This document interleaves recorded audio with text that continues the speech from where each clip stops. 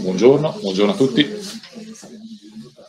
E io inizio l'incontro, tanto mi presento, per chi non mi conoscesse, sono Adriano Bertolini, stavo leggendo il mio nome per non sbagliarmi, sono consigliere del CER dell'Emilia Romagna e faccio parte del, come, come rappresentante regionale di OBIS, dell'Osservatorio Biblioteche per lo Sviluppo Sostenibile. E, intanto presento il relatore come si svolgerà la giornata. Ci saranno tre interventi, quello più corposo è proprio quello delle due colleghe che sono alla mia sinistra, Cristina Baldi e Paola Iannucci, del sistema bibliotecario dell'Università di Ferrara, che sono diciamo, l'anima e il cuore di questo progetto Storia di libri e palazzi, caso di studio per discutere di inclusione, diritto alla cultura e partecipazione attiva nelle biblioteche accademiche.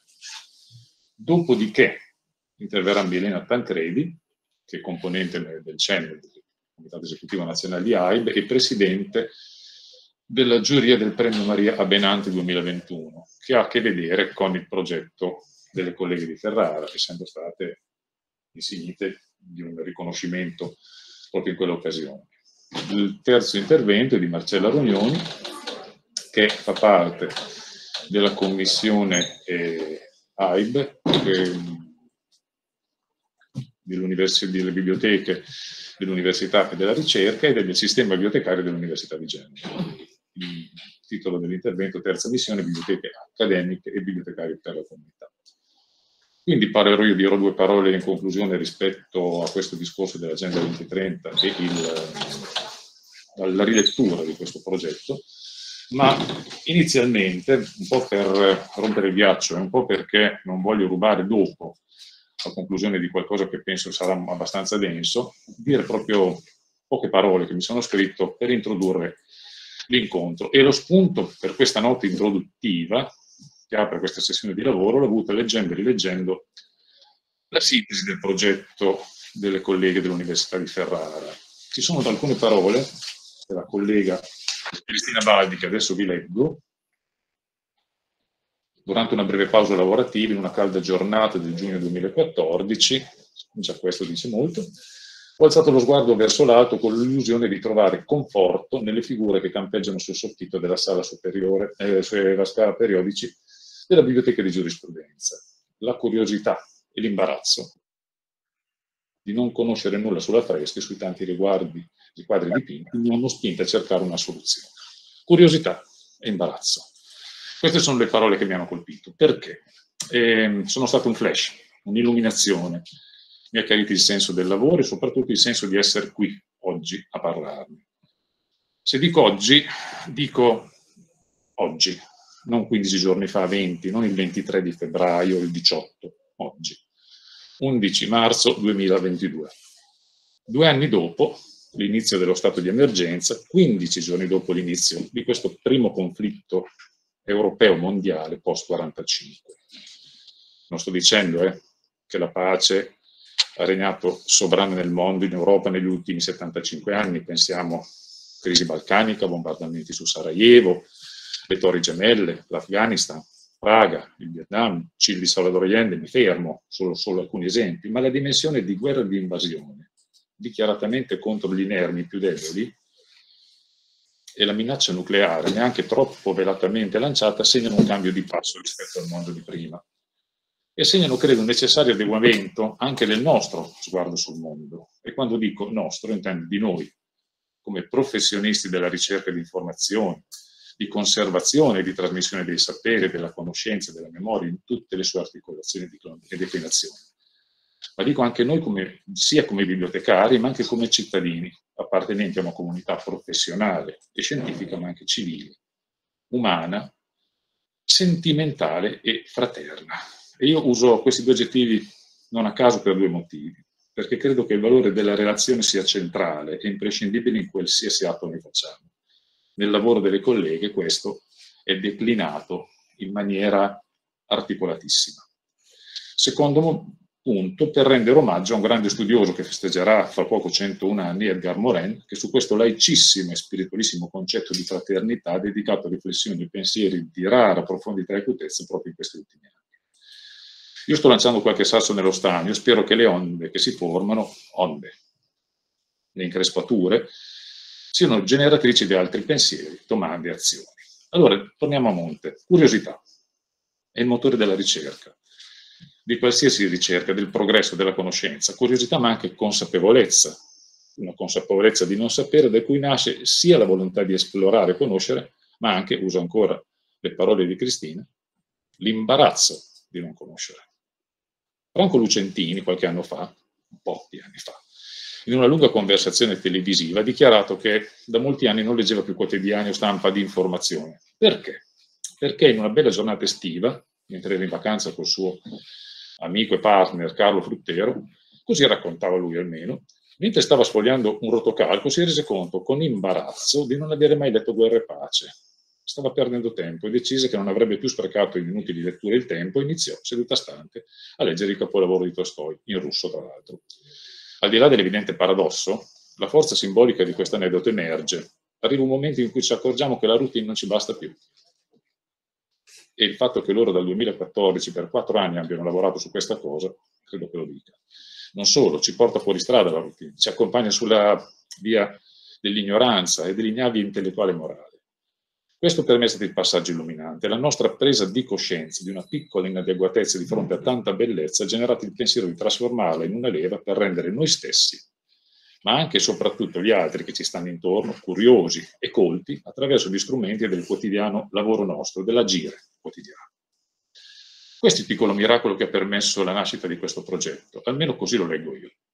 Rendere curioso il pubblico, il nostro, i nostri pubblici, senza però urtarne la, sus- la suscettibilità, la mascherina mi, mi, mi, dà un po' fastidio, scusatemi, e il pudore, senza generare imbarazzo in questo caso, ma anzi aprendo squarci sull'opaca coltre dell'ignoranza, del visibile agli occhi, ma dell'invisibile alla mente, del visto, ma non percepito. Carlo Rovelli, in un libretto per dimensione, non per qualità, pubblicato nell'agosto del 2020, Elgoland, parlando dei quanti, introduce il concetto di osservabili, oggetti per lo più invisibili a occhio nudo, ma non sempre, che se non li guardi non ci sono, ma appena poni l'occhio su di loro compaiono. Cercandoli si manifestano, si lasciano osservare. Ecco, questo in poche parole è il lavoro fatto dalle colleghe dell'Università di Ferrara, il cuore e l'anima di storie di libri e palazzi, rendere osservabili agli occhi e alle menti di un pubblico ampio, multiforme, gran parte dello straordinario e variegato patrimonio contenuto nelle loro sedi. Patrimonio, eredità, lascito, memoria, costituito da questa diade inedita ma altamente suggestiva e simbolicamente pregnante, libri e palazzi. Vado, vado a concludere. Il tempo, racchiuso ma non congelato, vorrei dire dinamicamente contenuto nello spazio fisico della pagina, e lo spazio, edifici, loro volumi architettonicamente pensati e progettati, luce, ombra, prospettive vere e false, natura e cultura fuse insieme, fermato nel tempo. Lo so, il tempo non si ferma, ma lo spazio di quel determinato tempo storico, tempo dell'uomo ma anche tempo della natura, si può sempre dinamicamente fissare su un'ideale linea immaginaria che tende a infinito, come la storia dell'architettura ci insegna, con un plus, le immagini che accompagnano il visitatore, affreschi, tele, fotografie, l'occhio che registra fotograficamente come compagno di viaggio in questa immersione totale nella storia di una città, del suo presente attraverso il suo passato. Il tutto preceduto da un sostantivo, storie, che sta alla sorgente, se la nascita e lo sviluppo della civiltà occidentale, ne culla, memoria, racconto.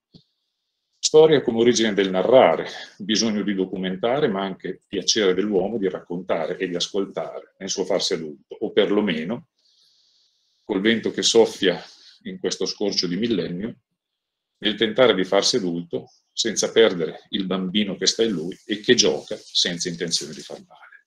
Con questo io concludo, lascerei la parola a Cristina e a eh, Paola. Non ci sarà soluzione di continuità nella loro presentazione, quindi non starò a interrompere quando loro si alterneranno nella presentazione del loro. Grazie. Grazie Adriano per questa introduzione che veramente mi ha emozionata. Eh, buongiorno, grazie Adriano, buongiorno. Eh, proverò a spiegare brevemente il progetto Storia di Libri e Palazzi ehm, itinerari fra le biblioteche di Unife Premetto che eh, è un progetto molto corposo, quindi non ho eh, il tempo per soffermarmi su tutti gli aspetti, eh, ci sarà modo magari di approfondire durante la discussione e comunque le slide, eh, in caso interessino, saranno rese ehm, pubbliche, insomma, a disposizione di, del, del pubblico. E, ehm, questa mappa eh, l'abbiamo pensata per eh, dare un'idea della complessità del progetto, un progetto che eh, appunto è stato scritto nel 2014, eh, solo nel 2017 è iniziata la vera e propria progettazione grazie al coinvolgimento eh, di molti partner sia territoriali che extraterritoriali varie le modalità operative anche per poter raggiungere una diversità di pubblici, eh, pubblico adulto, scuola famiglie e pubblico con disabilità e l'intento di creare una partecipazione attiva eh, della città alla conoscenza del patrimonio culturale dell'Ateneo Ferrarese. Le risorse sono molteplici, eh, in primis i bibliotecari che ehm, accanto all'attività di didattica ricerca assumono oggi ormai già da un po' un nuovo ruolo verso i pubblici, eh, creando quindi eh, delle opportunità di contatto, di partecipazione e di crescita culturale. E, ehm, le sedi del nostro itinerario, come potete eh, vedere, abbiamo la fortuna che le nostre biblioteche siano all'interno di palazzi storici eh, rinascimentali, ehm, anche appunto la sede della Biblioteca Chimico-Biologica di Santa Maria delle Grazie all'interno di un bellissimo ex monastero. E, ehm, altra particolarità è il, eh, insomma, l'aver riadattato un ex zuccherificio agricolo, ehm, oggi sede del polo, polo scientifico-tecnologico e eh, della sua appunto, biblioteca. Quali le risorse? Sicuramente eh, spiccano le collezioni librarie storiche che comprendono appunto documenti eh, dagli inizi della, della, stampa al XX secolo e spaziano fra vari ambiti disciplinari. Di interesse il fondo archivistico dell'ingegnere architetto Carlo Savonuzzi che eh, dispone di una molteplicità di materiali, dai fascicoli ai volumi a stampa, fotografia e disegni, dagli anni 20 e 60 del secolo scorso. Anche le collezioni del sistema museale di Ateneo ehm, sono di grande interesse, si tratta di oggetti ehm, storici, didattici appartenuti a docenti che hanno, eh, utilizzavano appunto per l'attività di ricerca e di studio e anche qui spaziano fra eh, vari, ehm, varie collezioni di vari ambiti la comunità accademica ehm, eh, bisogna appunto evidenziare che sia attore sia fruitore. Eh, hanno, eh, I docenti hanno co collaborato per la revisione finale dei, dei contenuti sulla storia dei palazzi, degli affreschi e delle collezioni storiche hanno curato anche la redazione di un'introduzione al racconto guida di Luigi Dalcin, eh, racconto una narrazione fantastica per avvicinare il pubblico scuola-famiglie e anche la prefazione al progetto eh, per l'utenza adulti, mettendo in evidenza i diversi codici e registri utilizzati per il coinvolgimento eh, dei pubblici. Riguardo al coinvolgimento della ehm, comunità territoriale, ehm, mi soffermo sull'azienda Trieco eh, 2.0 SRL di Ferrara perché ha permesso di realizzare un'app inizialmente sperimentale, poi ha avuto un'evoluzione nell'app Mix Air Experience che permette l'accesso all'itinerario virtuale, cioè permette anche da casa di poter visualizzare contenuti integrativi, si tratta di immagini, di video, audio, per mh, poter insomma, usufruire dell'itinerario anche eh, se, non, se non possibile recarsi in presenza. Spisani Designer ehm, ha permesso di eh, realizzare un piedistallo personalizzato grazie all'utilizzo di un'immagine tratta dai nostri eh, fondi librari storici e quindi di trasformare quello che è un, eh, uno strumento, un semplice supporto, anche qui in veicolo di, eh, di informazione. Come potete forse aver percepito è un progetto, un progetto di rete che coinvolge molte collaborazioni interne, alcune le ho già eh, esplicitate, e eh, anche ehm, extraterritoriali, extraterritoriali esterne.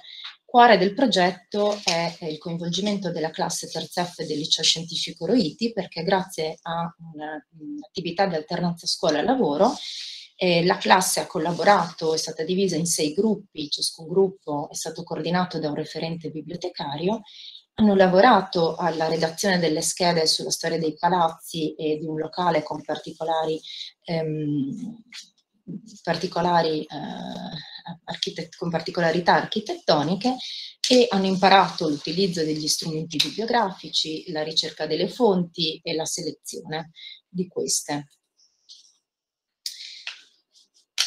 Per quanto riguarda le modalità operative, ehm, appunto la partecipazione eh, della classe eh, terza F, come ho anticipato prima, ma un apporto importante l'hanno dato anche i cittadini privati, ehm, mettendo, condividendo archivi eh, di cartoline storiche, immagini storiche, nonché una documentazione importante che è stato diciamo, un primo, ehm, primo base di partenza per approfondire determinati argomenti.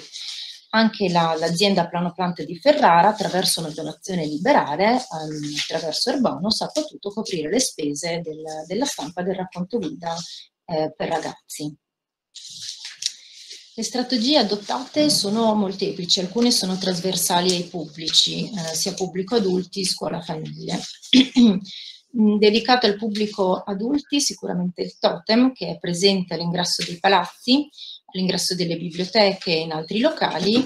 Ehm, sui pannelli sono pubblicati testi sintetici della storia del palazzo, della storia della biblioteca, oppure la storia del locale e delle collezioni storiche, sia in italiano, sia in lingua italiana che in lingua inglese. L'app Mix permette di interagire con il pannello ehm, attivando una realtà aumentata e accedere quindi a contenuti integrativi.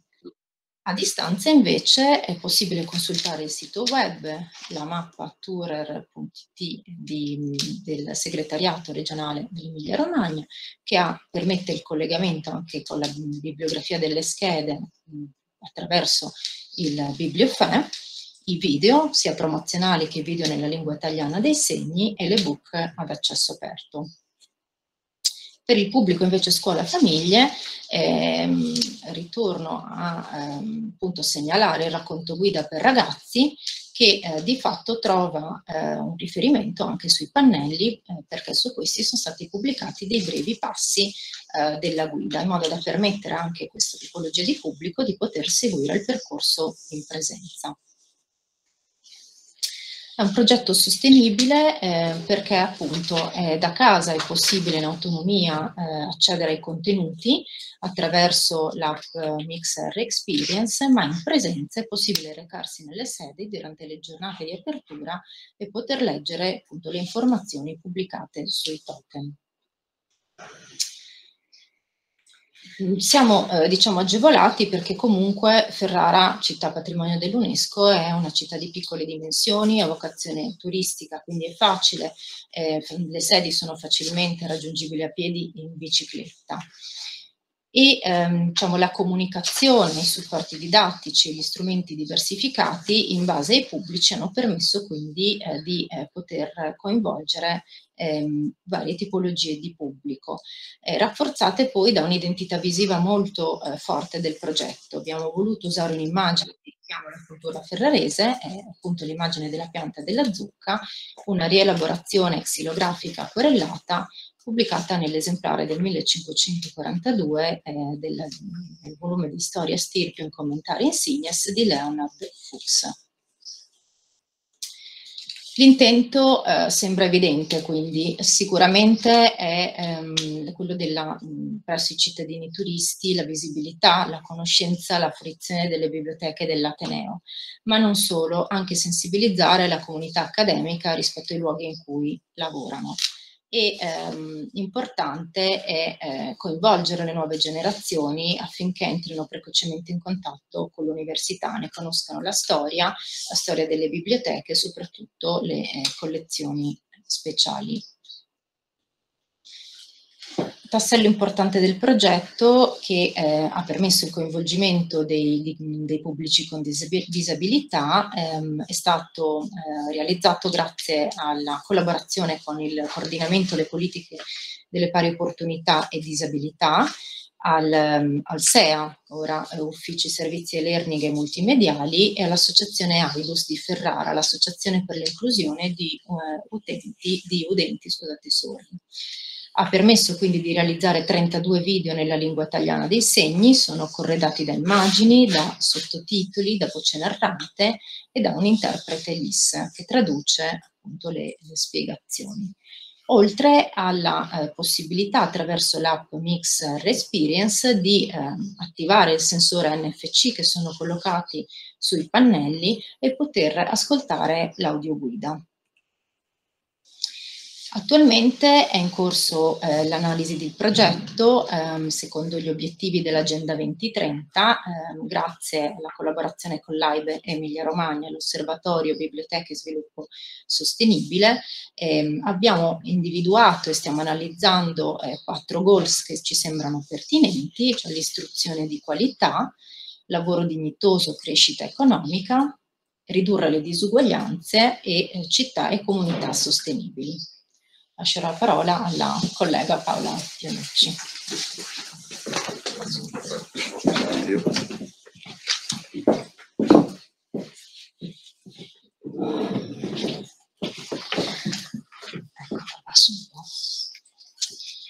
Bene, grazie Cristina.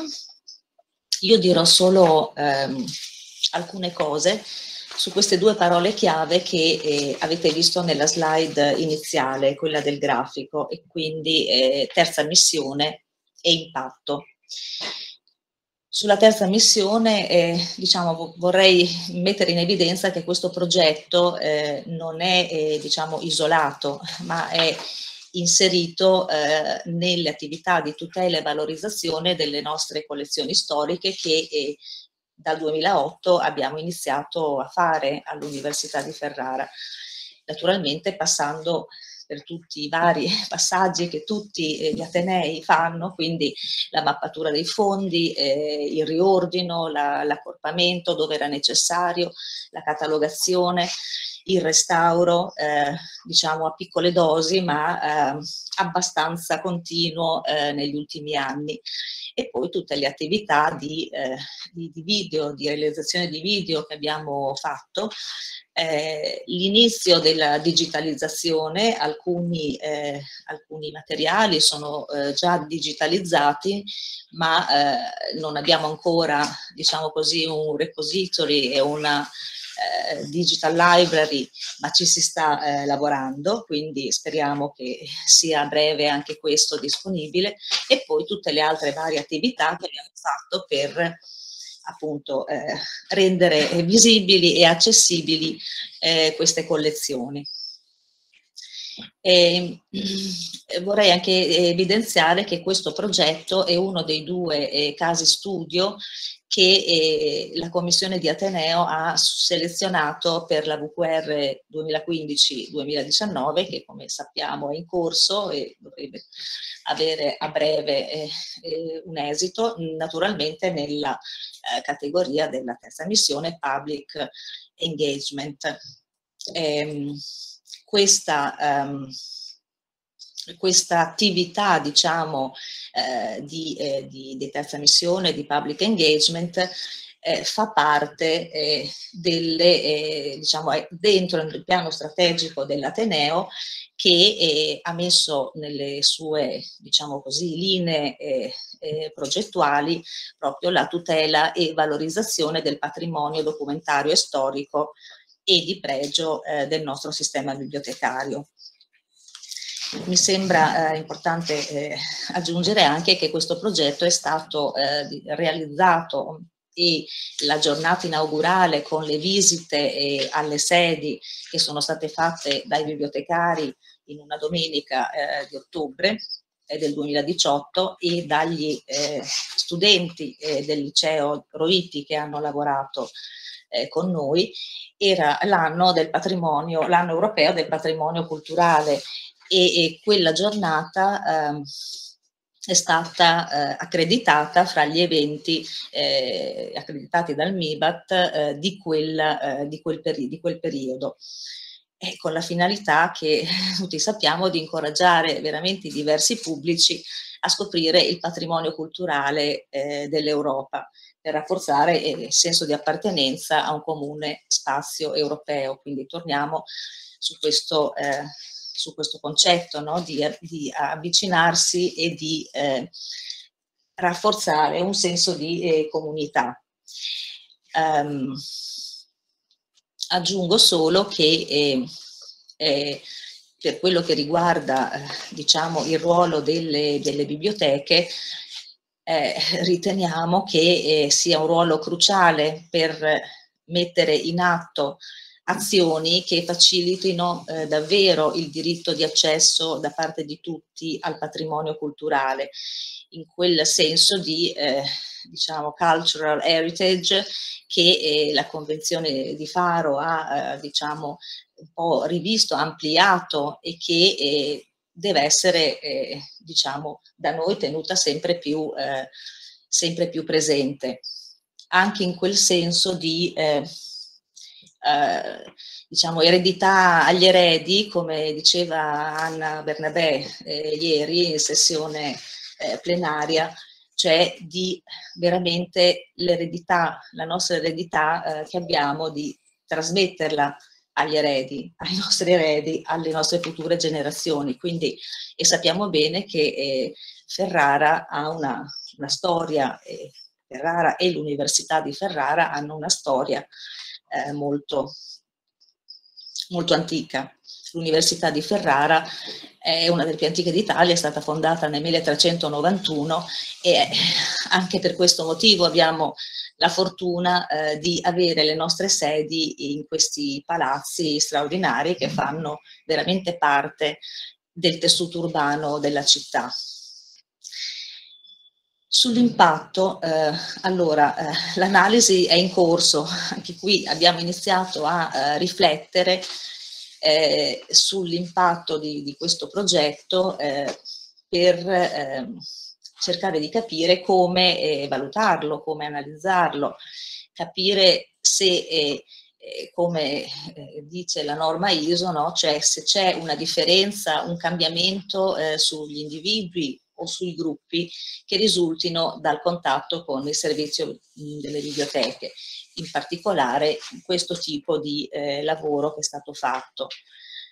Um, eh, devo dire che eh, di recente eh, il, il, portale del, dell'Ateneo, che ha già una sezione eh, intitolata Il passato e il futuro, proprio perché ha un, un passato molto, molto antico, ecco, molto grande, ehm, ha inserito eh, diciamo, un link ehm, i nostri palazzi storici che punta alla pagina del progetto dove si trovano le pubblicazioni e l'ebook che contiene tutta la documentazione eh, eh, realizzata sia di testi che di immagini eh, raccolta e scritta durante questo progetto.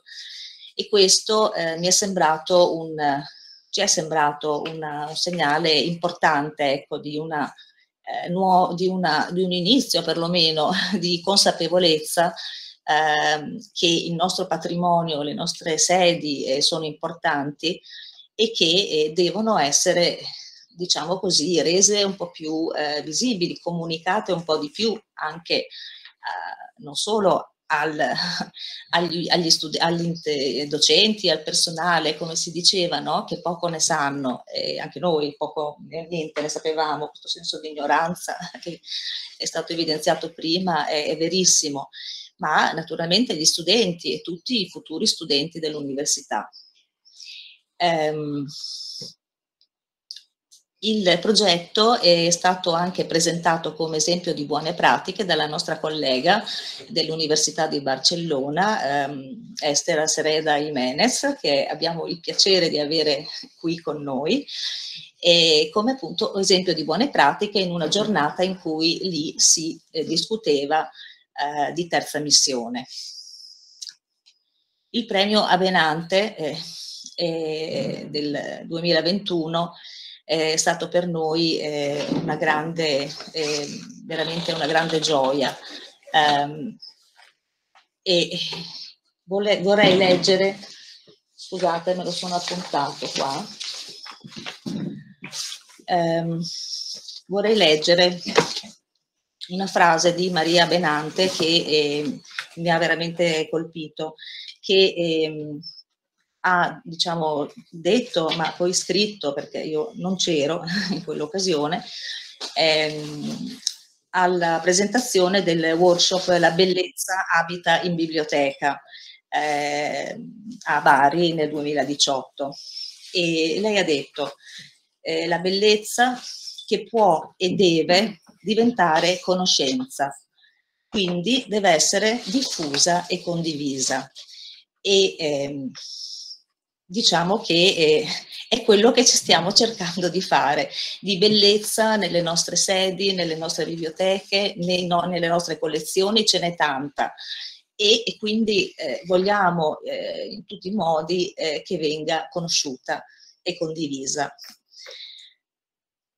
Um, per quello che riguarda, diciamo, eh, la vita, l'impatto più sociale, la vita sociale, la promozione dell'identità e della cultura locale, eh, posso dire che eh, negli ultimi anni le nostre sedi sono state eh, incluse in, al in, alcuni eventi cittadini che eh, sono diventati piuttosto importanti a Ferrara, non solo per i cittadini che la, partecipano sempre in gran numero a, queste, a questi eventi, ma anche tantissimi turisti, persone che vengono da altre città. E gli eventi sono Interno Verde, eh, che è un festival nato eh, nel 2016 e si è esteso poi negli ultimi anni anche ad altre città, a, a Mantova e a Parma anche di recente. Eh, che eh, apre eh, diciamo, al pubblico eh, in un weekend eh, dell'anno ehm, giardini privati, giardini privati di case ferraresi, quindi, oppure anche di alcuni palazzi eh, diciamo no, non privati come le nostre sedi, che però sono poco o per nulla, se sono privati, per nulla conosciuti. Ed è diciamo una, una una cosa molto, molto bella, molto sentita e che veramente fa sentire propria eh, la città. L'altro eh, evento è Monumenti Aperti, che forse qualcuno di voi conosce, è una, un festival, questo è nato in Sardegna in realtà, eh, molti anni fa e che da alcuni anni eh, è stato portato a Ferrara da Luigi Dalcin, che è l'autore per ragazzi che ehm, ha collaborato con noi e ha scritto questo bellissimo eh, racconto, racconto che potete eh, eh, trovare, scaricare in, in, PDF dal nostro eh, portale, dal portale del progetto. questo evento eh, diciamo che ehm, attraverso cioè, un lavoro con le scuole primarie e secondarie di primo grado, eh, quindi fanno gli insegnanti con eh, con Luigi Dalcin o con altri, c'è Ferrara Off, c'è il teatro, ci sono varie associazioni che collaborano. Ehm, diciamo, studiano quella, quel palazzo, quella sede e raccontano la storia e in alcuni, anche lì in un weekend dell'anno, fanno da guida a quel, a quel luogo ai cittadini, a chi, a chi passa di lì gratuitamente, naturalmente, ed è eh, una, un evento molto bello, anche questo, della, della città. E quindi negli ultimi anni alcune sedi sono state eh, incluse in questi, in, questi, in questi, eventi.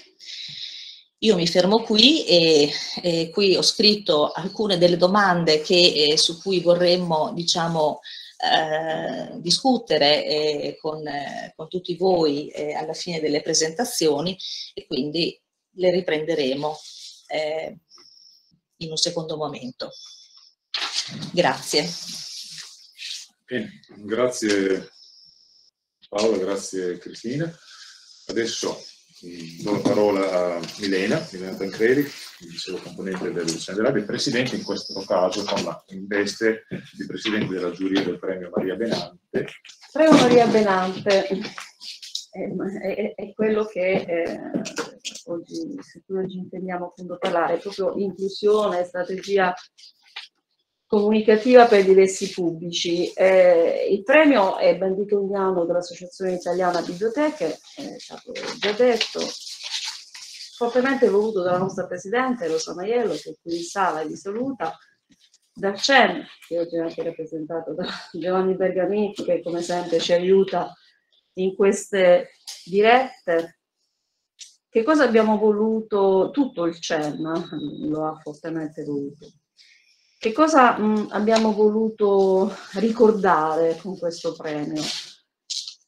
La dedizione, la professionalità di Maria, eh, premiando cosa? Um, progetti che sono appunto in corso di realizzazione durante l'anno solare o immediatamente precedenti all'anno in cui si bandisce il premio, che devono avere la finalità di promuovere l'inclusione, l'inclusione nelle sue diverse declinazioni.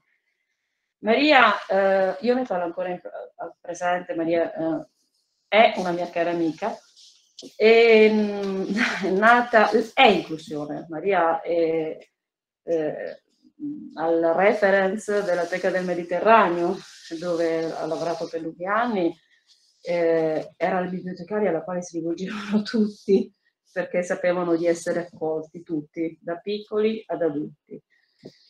E ancora adesso, quando vanno uh, presso la biblioteca, chi non sa resta basito da questa sua assenza. Lei è nata a Umbriatico, in Calabria, e ci ha salutati nel 2019, il 28 febbraio, e ha lavorato appunto eh, presso la Biblioteca Multimediale del Consiglio regionale della Puglia, Biblioteca del Mediterraneo. E si è occupata di tutto, di catalogazione, di reference, di raccolte di organizzazione, ma anche addirittura di cose che non riguardavano nello specifico la missione di una teca del Mediterraneo, come raccolte per ragazzi.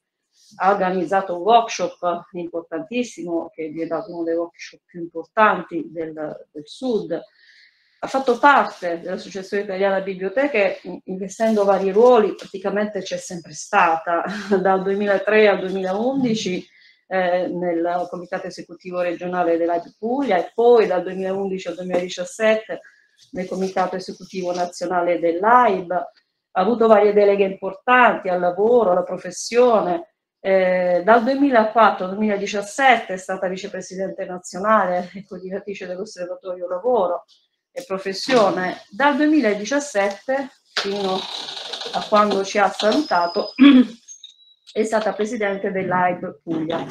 Cosa devono avere le caratteristiche dei progetti? Eh, cosa devono avere i progetti?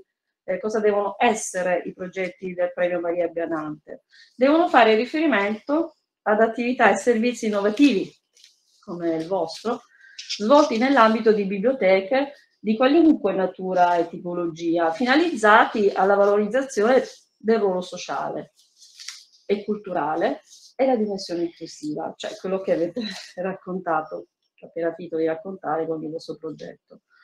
Vogliamo premiare progetti eh, che abbiano come mission proprio eh, prevalente l'inclusione nelle sue diverse declinazioni, in questo modo crediamo di onorare quelle che erano le qualità etiche e professionali di una collega, amica, o meglio di una persona che ha fatto dell'inclusione uno degli impegni costanti della sua azione.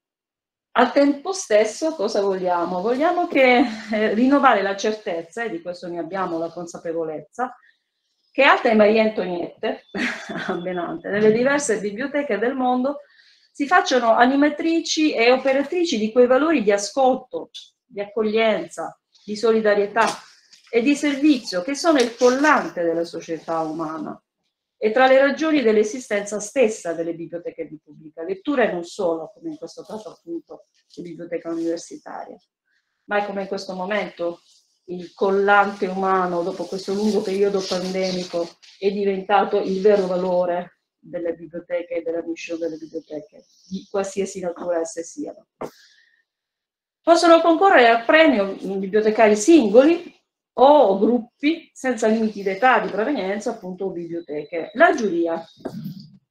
Un mio saluto caro va alla giuria che è composta da persone molto vicine, che sono state molto vicine a Maria, e, ehm, da Vittorio Ponzani, da Paul Gabriel Weston, da Franco Neri, Agnese Cargini, Piero Cavalieri, Madel Casta e Franco Neri e da me.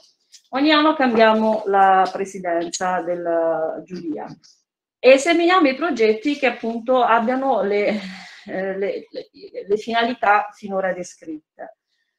Um, quali devono essere eh, le aderenze per aderire a Premo, le finalità, l'alta qualità etica delle iniziative? Per la valutazione consideriamo cinque indicatori. Eh, l'adesione al bando intanto, l'innovatività, come il vostro appunto progetto, eh, l'analisi del contesto, dove viene, dove si opera, qual è il contesto, l'analisi dei soggetti e degli strumenti, la continuità, perché è molto importante dare continuità nel tempo ai progetti.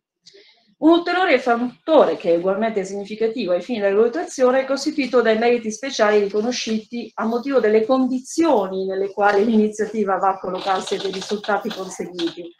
Motivi per cui nel 2020, presidente della giuria Paul Westo, nonostante le difficoltà e le preoccupazioni del periodo, eravamo in piena pandemia, i progetti candidati sono stati ben 23.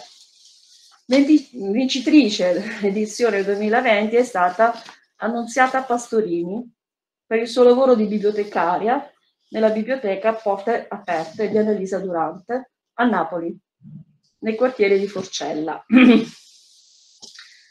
L'inventiva, la nostra motivazione l'inventiva, la determinazione, la capacità di relazionarsi con il contesto e la necessità di operare controcorrente ci sono apparsi molto nello stile della vita di Maria Antonietta Benante. Questo è stato l'incipit per, della presentazione di questo progetto. Mi chiamo Annunziata Pastorini, detta Nunzia. Sono nata a Napoli nel 1985 e svolgo l'attività di bibliotecaria presso la biblioteca Porta Aperta Annalisa Durante, sorta in memoria della giovane vittima innocente uccisa nel 2004 in uno scontro armato tra clan nel quartiere napoletano di Forcella. La biblioteca diretta da Giuseppe Penna è alimentata esclusivamente da libri in, in dono che attraverso l'attività di book crossing ricevono una seconda vita i libri che non sono catalogati in SBN vengono infatti esposti all'ingresso della biblioteca con un adesivo sulla copertina che indica che il libro può essere preso, letto, scambiato, riportato o regalato da altre persone. Il nostro motto è la cultura salva le anime. Bene, con questo incipit abbiamo poi premiato uh, nell'edizione 2020 questo progetto hanno ricevuto la targa, quella che vedete alle mie spalle, come appunto il progetto presto, su cui mi ha presto a soffermarmi. Questa è un altro dono, il, questa targa è di una mia amica, un'illustratrice molto um, famosa, brava nell'ambito dell'editoria per ragazzi, che è Eva Montanari, ne aveva presentate più di una di illustrazioni, questa è quella che ci ha colpito di più. Oltre al premio, il vincitore ogni anno diamo anche delle menzioni speciali. Così è stato anche nel 2020. Nell'edizione 2021 eh, sono stata io presidente, appunto per la ciclicità della presidenza, e abbiamo premiato la scuola in piazza di Reggio Calabria. È il progetto vincitore di questa seconda edizione del premio Maria Benante. Perché abbiamo scelto ad unanimità il progetto calabrese che offre percorsi di apprendimento della lingua italiana per giovani e adulti stranieri in una prospettiva interculturale e intergenerazionale? Perché si fonda sulla promozione della lettura, che è ben diversa dall'animazione della lettura, perché crea consapevolezza, crea motivazione, sedimenta abitudini uh, dall'approccio alla lettura e fa diventare il libro fattore aggregante e inclusivo. Le attività svolte all'aperto, completamente gratuite per tutti, mirano anche a riqualificare una piazza degradata nel centro storico una, della città, crocevia di culture anche lontane. Questa realtà è nata nel 2019, quindi aveva anche le caratteristiche della continuità e ha saputo aggregare sia l'associazionismo locale con l'università e con gli istituti religiosi. E poi Trex Eco, appunto, quindi il vostro premio, oltre alla Biblio Verifica Olympics, giochiamo contro la disinformazione della biblioteca uh, Vilfredo Pareto dell'Università Tor Vergata, la parola ai giurati, i detenuti scelgono i vincitori di storie da musei e archivi, del MAB delle Marche, storie di libri e palazzi itinerari fra le biblioteche dell'Università di Ferrara. Perché?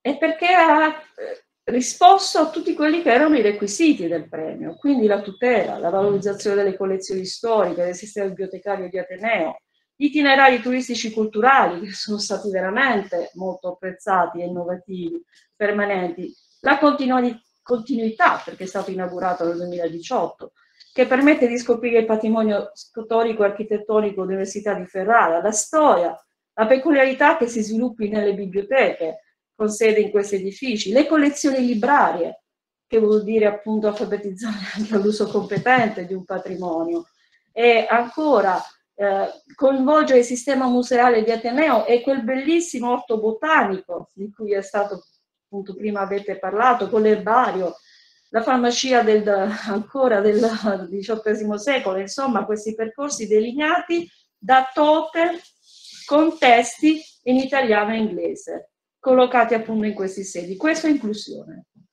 Questo è inclusione di diversi pubblici, di tutti i pubblici. E l'inclusione per agevolare l'utenza con disabilità che avete realizzato con, con questi video che ci avete, appunto, di cui ci avete parlato, e arricchiti da selezioni di immagini, e ancora accompagnata da sottotitoli, da voce narrante, la possibilità di fruirli, la, la, possibilità che il pubblico con disabilità visive possa usufruire di un percorso grazie a sensori, che possa ascoltare audio informativi e dispositivi mobili tramite app che sono tutte gratuiti, e ancor più lo, il coinvolgimento degli studenti eh, de, di un liceo scientifico, quindi il coinvolgimento del territorio, eh, che poi sono stati formati. Ecco, questo è quello che noi vogliamo che accada quando si parla di promozione della lettura, alfabetizzazione e l'uso competente di un'indagine e inclusione. Questi ragazzi sono stati formati sugli strumenti di ricerca bibliografica, i bibliotecari hanno curato i testi sulle biblioteche e sulle collezioni librarie. I docenti dell'Atenei hanno, per le loro specifiche, specifiche competenze, eh, hanno anche divisionato no, i, i, contenuti. Quindi questo lavorare insieme, tutto questo è aderente ai requisiti del premio Maria Berante. Io chiudo ringraziandovi a nome dell'AIB, dell'Associazione Italiana Biblioteche, eh, vi ringrazio per aver partecipato al premio Maria Abenante e tutto quello che abbiamo scritto, ancora di più, io ho tratto una sintesi del verbale di quello che abbiamo appunto scritto dopo aver esaminato tutti i premi, lo trovate online nel nostro sito e trovate anche il momento della premiazione online che è avvenuta mercoledì 22 dicembre eh, del 2021 e sul nostro canale YouTube dell'AIB. Grazie. Bene, grazie a Milena per le tante cose anche importanti dette, per le belle parole. La cultura salva l'anima mi ha colpito molto, me la sono anche scritta. Adesso diamo, do la parola a Marcella Rognoni che presenterà un po' meglio di prima, visto che ho ripreso un po' di, di tono nervoso, del sistema bibliotecario dell'Università di Genova e anche componente della Commissione Nazionale di AIB delle biblioteche eh, di, di universitarie e di ricerca. Il titolo del suo intervento, terza missione, biblioteche accademiche e bibliotecari per la comunità. Qui va bene? Qua? Sì, se per, se va bene per te. Sì, sì, sì. Devo, allora facciamo una cosa, se devi usare quello facciamo così, prendiamo di sedia. Come sempre il bello della diretta.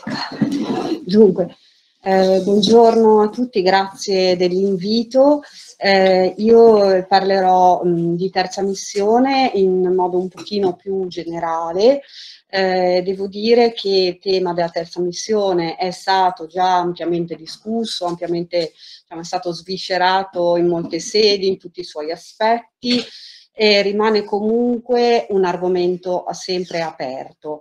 Nella sessione di ieri pomeriggio ne abbiamo avuto un quadro molto ampio, profondo, con luci e ombre, quindi molto interessante. Devo dire che al di là della gioia che ho avuto nel tornare proprio in presenza alle stelline, eh, la giornata di ieri mi ha dato molti stimoli, ma forse ancora di più ne ho eh, assunti questa mattina dal racconto dell'esperienza dell'Università di Ferrara.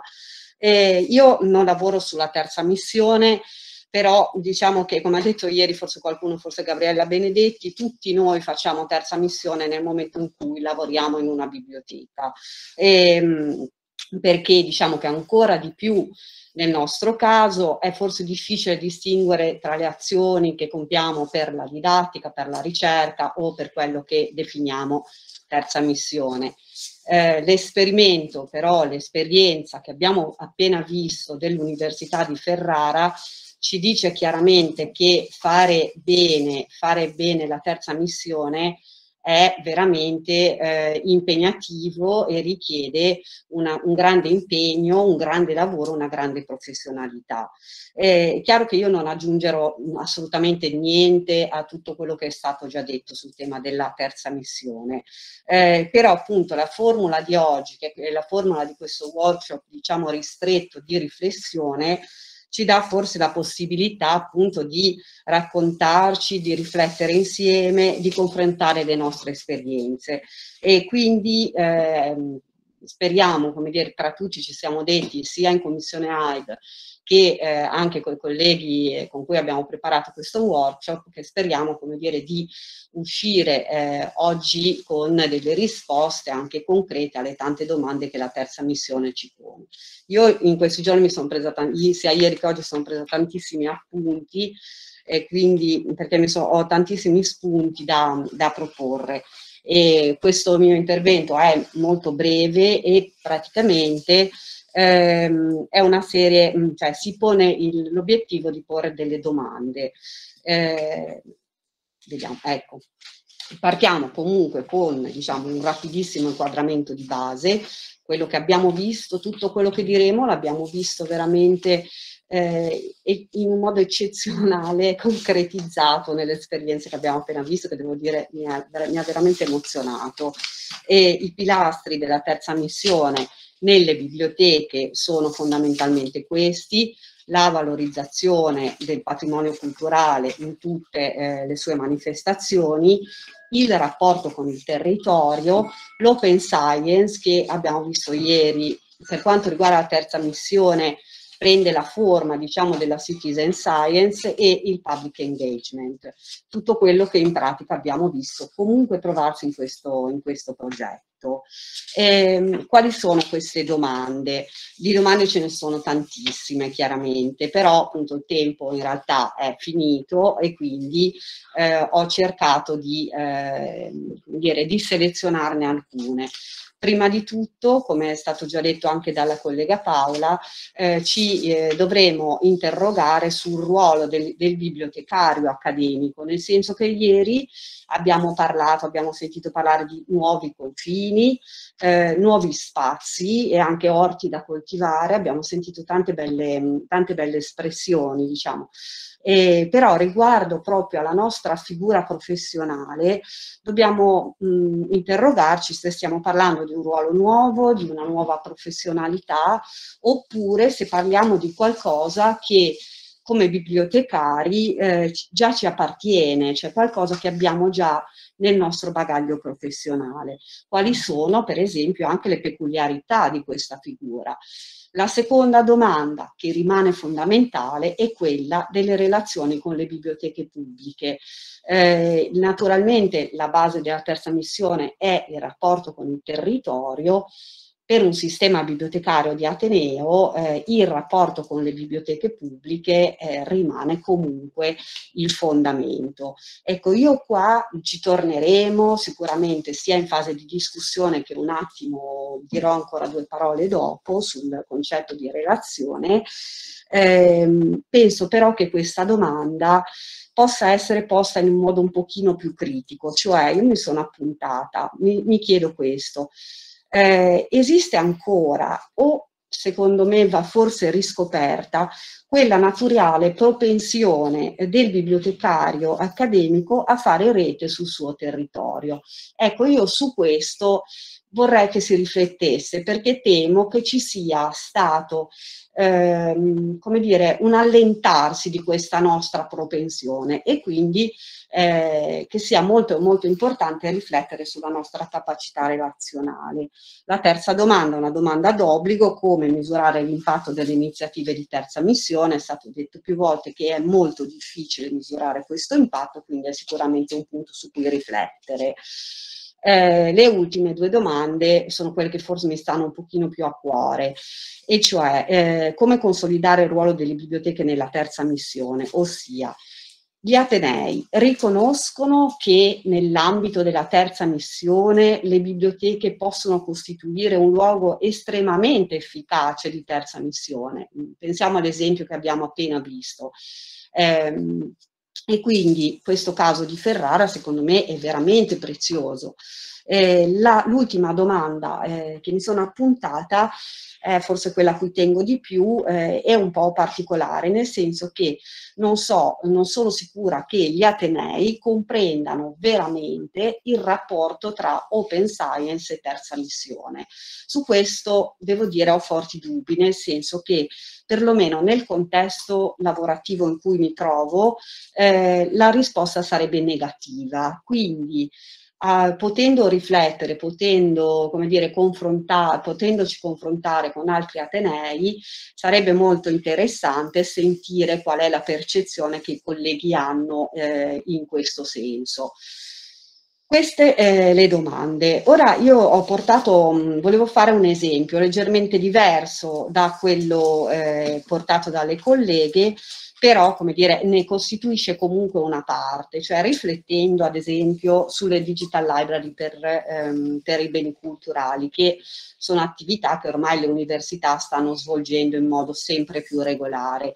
Eh, noi stessi a Genova abbiamo una digital library che è in preparazione, ma mh, uscirà, diciamo, verrà pubblicata praticamente il prossimo mese. E, ehm, ecco, il lavoro della Digital Library eh, con questo ventaglio diciamo, di, eh, di, competenze che il bibliotecario porta alla realizzazione di una digital library ehm, mi fa pensare che sia veramente importante eh, entrare nel discorso di terza missione con il nostro bagaglio professionale.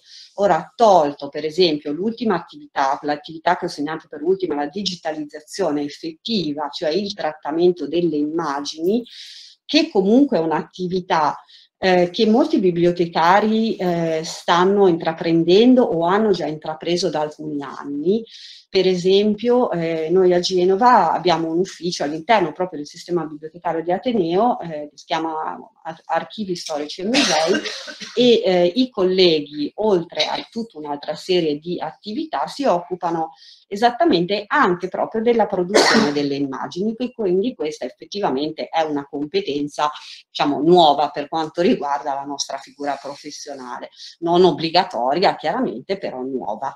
Eh, tutte le altre competenze eh, son, fanno parte del nostro bagaglio culturale. La Digital Library è in realtà un, un repository, quindi un catalogo e noi abbiamo dimestichezza eh, con la gestione dei repository, con la gestione dei dati e dei cataloghi. Non parliamo chiaramente della metadatazione, non parliamo degli standard, nel senso che non solo la conoscenza, ma diciamo che proprio sapere che esistono okay, e sapere a cosa servono e perché vanno applicati, perché vanno applicati. Ecco.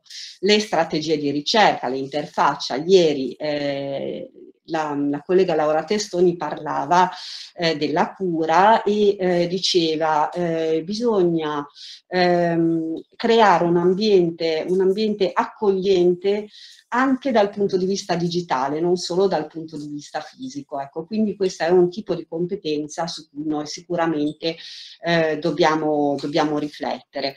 Il trattamento dei materiali antichi di pregio chiaramente è una delle nostre competenze principali, le policy, il diritto di autore d'autore, il copyright, i rapporti con gli organismi RICU, gli altri organismi nazionali e internazionali, l'interoperabilità dei sistemi, cioè per noi è, come dire, è nel nostro DNA sapere che i sistemi devono parlare fra loro, che la Digital Library non rimarrà un, una, eh, uno scrigno isolato, ma dialogherà con tante altre realtà digitali. Tutto questo ci fa pensare che effettivamente la professione del bibliotecario sia veramente eh, fondamentale quando andiamo a parlare eh, di terza missione. Eh, ecco, eh, un'altra domanda, concludo diciamo, rapidamente, sempre dando alcuni spunti per, per la discussione. Le esperienze sono tantissime, eh, tantiss le azioni che possiamo compiere sono tantissime, vanno dal piccolo fino al grande che abbiamo appena, appena visto. Progetti di digitalizzazione, la valorizzazione con mostre, le presentazioni, la formazione, l'attività di servizio civile o tirocinanti, l'open access, l'open science, insomma tutte queste attività che qui eh, io ho come dire, eh, espresso come una specie di brainstorming, diciamo, eh, ecco, e mh, mm, termina con i puntini, cioè tutto quello che voi vorrete raccontare dopo, vorrete dare come spunto o che nei, prossimi, nei vostri prossimi progetti potremo, potrebbero arricchire proprio questo percorso. E l'ultima, eh, l'ultima domanda, eh, che è forse quella a cui tengo di più, è la domanda quali relazioni, cioè qual è la qualità delle nostre relazioni, relazioni tra sistemi bibliotecari, relazioni eh, tra aree disciplinari a livello nazionale, ecco questo è un po' raro, però sarebbe ad esempio molto bello, molto interessante, le relazioni interne al proprio Ateneo, abbiamo visto nel progetto di Ferrara, cioè nessun progetto va avanti eh, isolato. Okay? La relazione è alla base del successo di, quel, di quell'esperienza. La relazione con l'attualità, cioè con gli eventi, con le ricorrenze, con tutto quello che, eh, che succede nel mondo e eh, l'ho lasciato per ultimo la relazione con le biblioteche pubbliche. Ecco, noi sicuramente come sistemi bibliotecari degli Atenei dobbiamo riprendere a curare, dobbiamo rafforzare, ravvivare proprio la relazione con le biblioteche pubbliche del territorio. Eh, forse ehm, se, Ieri per esempio io ho ascoltato anche il, la presentazione della BEIC, un progetto bellissimo che devo dire mi ha anche questo progetto molto... Eh, l'ho trovato esaltante, ecco. Però a un certo punto, non so chi di voi era presenti, è emerso un piccolo grido di dolore, ossia è stato detto, e qui io lo dico non nel senso chiaramente di Milano, ma nel senso generale, nazionale, eh, i sistemi bibliotecari degli Atenei forse non stanno sa, sempre e tanto dialogando con i loro territori, con le altre biblioteche e, eh, e, o se lo stanno facendo magari non lo stanno facendo in modo sistematico e, e in, modo, eh, in, modo, importante. Quindi questo è secondo me dire, un po' il punto di riflessione principale.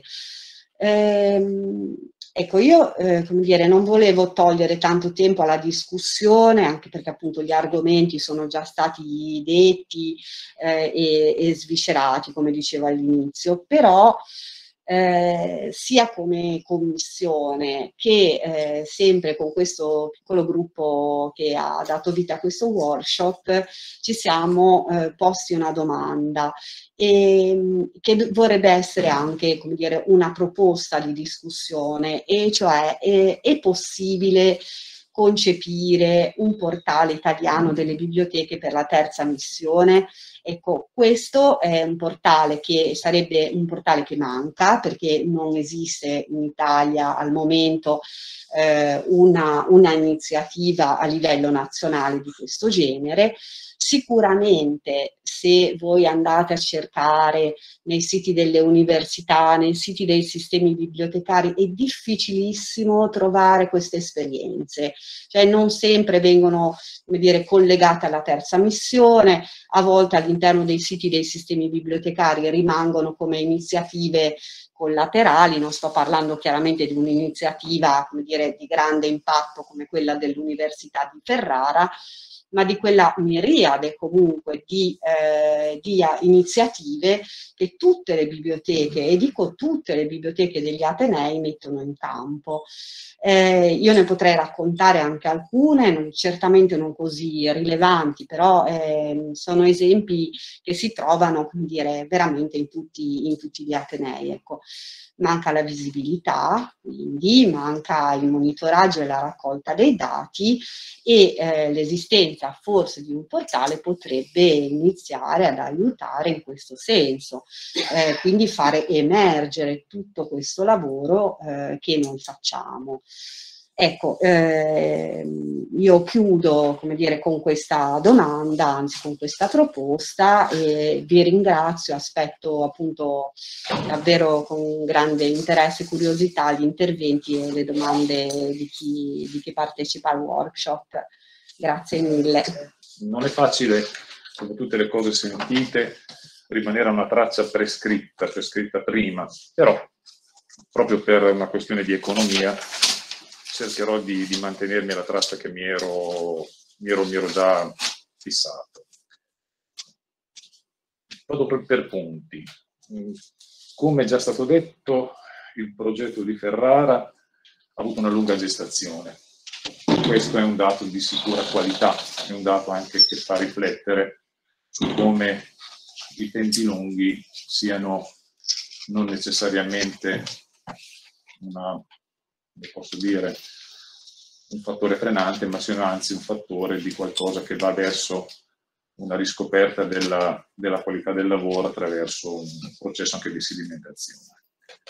Quando ormai due anni fa, come CER dell'Emilia Romagna, di AIB dell'Emilia Romagna, abbiamo introdotto il questionario rivolto a tutte le biblioteche del territorio su quali iniziative fossero state fatte nell'ambito dell'Agenda 2030, consapevolmente fatte, e non sto a parlare degli esiti del questionario, delle cose che sono più successe dopo, ormai Giovanni potrà dire delle cose lui rispetto anche a una ricaduta nazionale, abbiamo accolto il lavoro delle colleghe di Ferrara, pur essendo stato fatto in un tempo precedente, quindi non sto dicendo nulla di, di, di eretico, non con la consapevolezza che rientrasse in quel tipo di discorso, ma rientrava di fatto. E questo c'è stato anche un po' di dibattito, ma credo che ci fossero tutti gli elementi come poi il futuro ha detto. Cito solo poche cose. L'esportabilità, cioè questo è un progetto che si può esportare, nel senso che può essere non ovviamente clonato in toto, ma degli elementi che possono essere di modello, di prototipo per realtà analoghe. Loro parlavano di una città piccola, densa di storie, ma di dimensioni urbane ancora vicine mh, tra il centro e le periferie di prossimità. E questo è un dato assolutamente significativo. La relazione. Eh, Marcella ha citato la relazione. Gregory Bezzo diceva la relazione viene prima. Ne parlava in un contesto completamente differente, ma indipendentemente da quello che noi facciamo, la relazione esiste rendersene conto ed agire su questa è un fatto attivo. Se non ce ne rendiamo conto, può essere che la relazione ci sfuga dalle mani, ma intanto agisce. E questo intervento tuo è stato, secondo me, di grandissimo spessore rispetto a questo tema, ma non ho tempo di svilupparlo. Quindi la relazione che hanno messo insieme le colleghe di Ferrara, io dico, dico le colleghe di Ferrara, perdonatemi se sono schematico, con, con tanti pubblici, con tanti elementi, con tanti partner, è un dato di, di, di assoluto valore. Poi, giorni fa, guardando le vecchie carte che sto mettendo in ordine, ho trovato una vecchia relazione della, di Maria Stella Rasetti fatta qui a Stellini, secondo me nel 2001, può essere, non lo so, non mi ricordo, però parlava del comunicare col principe.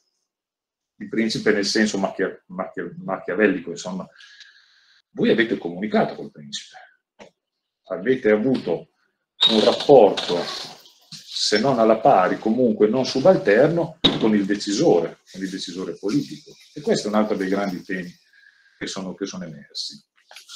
In più, l'individuazione di alcuni target specifici dell'Agenda 2030, su questo occorrerà poi aprire una riflessione secondo me un po' più a 360 gradi su come l'Agenda 2030 nel 2022 debba essere necessariamente aggiornata alla luce di quello che è e sta accadendo nel mondo, soprattutto negli ultimi anni, non tanto perché voglia fare un discorso catastrofico, ma perché necessariamente in itinere tutto questo va ripreso. E i target che avete voi individuato, il numero 4, l'8, non vi sto definire il 10, l'11, secondo me ce ne sono anche altri, ce ne sono anche altri che si possono tranquillamente prendere. Anche il 12, consumo e produzione sostenibile. E perché no? Pace, giustizia e istituzioni forti, il 16. E la, partner, e la partnership degli obiettivi.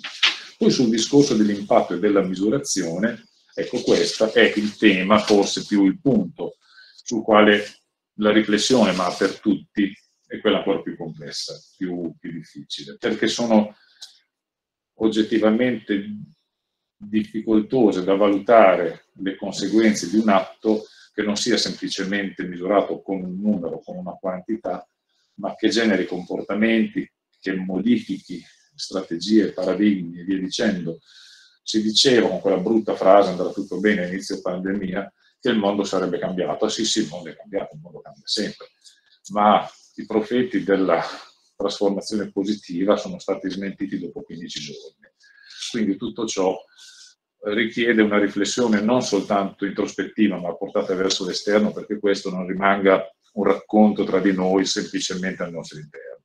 E sul racconto, io vado a concludere, la forza di questa storia, della storia per il recupero di qualcosa che, che esiste da molto tempo, ma che è stato molto spesso ignorato, ci ha fatto pensare, dico qualcosa che forse non dovrei dire, ma lo dico, non so se, se, se posso dirlo, ma lo dico lo stesso, e quindi censurerete, parlo dei miei capi, sto guardando Anna, del CER dell'Emilia Romagna, noi avremmo intenzione di proporre questo lavoro, ci sto lavorando da un po' e chiedo scusa se sono in ritardo, ma periodi complessi, personali, professionali, non è una scusa, è una spiegazione, avremmo intenzione di portarlo sulla Library Maps of the World del, di, di far sì che diventi una delle storie che possono andare ad arricchire, arricchire quel, quel database, quella, quella cosa lì, aggiornandolo, non tanto il progetto, aggiornandolo al tempo che sta scorrendo.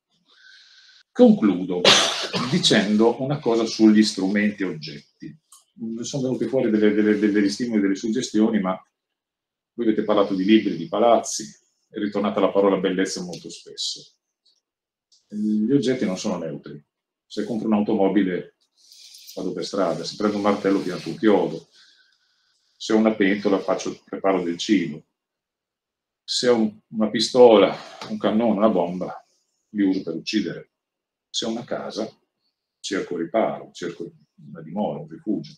Se ho una penna, un foglio, un pennello, scrivo, dipingo. Se ho un libro lo leggo. Lo leggo per me, lo leggo per voi. Se ho una chitarra suono e se ho un corpo a disposizione cosa ne faccio? Lo uso per mettermi in relazione positiva in apertura o faccio in modo che sia oggetto di scontro? Ecco, su questo, a partire da questo progetto, secondo me abbiamo tutti gli elementi per raccontare qualcosa che vada in una direzione, come diceva eh, Milena poco fa, dell'inclusione, dell'apertura, della consapevolezza attraverso uno strumento antico ma semplice che è quello del leggere, complesso ma antico, e anche del raccontare, del parlare, del trasmettere, attraverso la memoria e la storia, che sono due cose complementari ma non necessariamente identiche. Consapevolezza ha a che vedere con un ragionamento di ricerca. La memoria è qualcosa anche di un po' più volatile, più, più fluido. Io vorrei fermarmi qui per non rubare tempo alla discussione, spero di avervi detto qualcosa almeno di interessante. Non è stato un intervento più di tanto organico, ma ho cercato di tenere insieme quello che mi ero prefissato all'inizio con le cose che ho sentito nel, nel, dibattito. Adesso do la parola a chi volesse intervenire sia da qui che da casa. Ok, allora mi presento, io mi chiamo Stella Fereda e lavoro alla Biblioteca di Lettere dell'Università di Barcellona facendo una riflessione anche su come dobbiamo cambiare questo ruolo nostro bibliotecario e come fare una rete anche di partecipazione e, e tra noi. Io ho avuto la, la, la, possibilità di collaborare con l'Università di Ferrara tramite eh, un programma Erasmus Plus quindi da una parte abbiamo una situazione come questo convegno delle stelline che ci permette di condividere le esperienze e vedere altre prospettive realtà, ma anche eh, il programma Erasmus o altri programmi di intercambio internazionale ci permettono di conoscere un'altra realtà che a volte ti dà tanti spunti che non hanno niente a che vedere con i soldi o col sistema politico dell'istituzione, ma più con la propria comunità di lavoro della tua istituzione e dopo come proiettarla da fuori. E quindi io questa esperienza che ho fatto con l'Università di Ferrara è stata molto interessante e anche avuto un prolungamento nel tempo a livello umano e anche a livello professionale. Di fatto io sono stata eh, nell'ultimo mm, periodo di realizzazione di questo progetto e eh, abbiamo eh, avuto questo contatto anche per il fatto che io lavoro eh, dentro di un gruppo di marketing del sistema bibliotecario dell'Università di Barcellona. Quindi anche un progetto di questo tipo è di proiezione e valutazione eh, del servizio e anche eh, dell'istituzione, perché caso di Ferrara è molto concreto per quello che riguarda al, al, ai palazzi e il recupero che l'università, il lavoro che ha fatto l'università, recuperare questi spazi e, e, e metterli in aperto con la società, col territorio, in collegamento col territorio e, e dopo anche eh, fare questa diffusione del servizio, promozione del servizio bibliotecario dentro il contesto urbanistico della città, che penso che è molto interessante. E anche eh, fare questo collegamento con le scuole, vuol dire col liceo, che anche apre la porta aprire un futuro a questi ragazzi che in quel momento può darsi non sanno se andranno a studiare all'università e vedere che l'università ci offre strumenti, ci offre possibilità, tenta di offrire una formazione che si collega anche col territorio con l'attività del territorio e vedere che ha una utilità. E dopo avere questa esperienza eh, che è unica in quel momento perché escono dalla sua zona di comfort e devono imparare tutta una serie di relazioni, di attività, il fatto di cercare informazioni, come essere sistematico e effettivo allora, e i rapporti con le persone che a quell'età veramente sei un po' perso. E, e, quindi io sono stata da una parte nell'Erasmus, ma sono stata anche eh, eh, nel mese di ottobre quando si è prodotta questa attività e ho fatto come di giornalista e dopo ho proposto alle colleghe di fare una valutazione, siccome noi facciamo all'Università di Barcellona, dentro il nostro sistema eh, bibliotecario nel gruppo di marketing, una valutazione dell'attività, eh, noi facciamo con le campagne, in questo caso dell'attività per vedere il comportamento delle persone che sono venute, che tipo di pubblico è venuto, che è mancato, che è stato straordinario, per avere un feedback su, eh, di riassunto dell'attività e, e, veramente è stato molto interessante. Però dopo noi abbiamo continuato questo rapporto, infatti l'anno scorso abbiamo fatto, che già era la seconda esperienza a livello fuori dell'università, noi facciamo sempre una campagna per San Giorgio perché da noi si, si festeggia il giorno del libro de, della Rossa a Barcellona.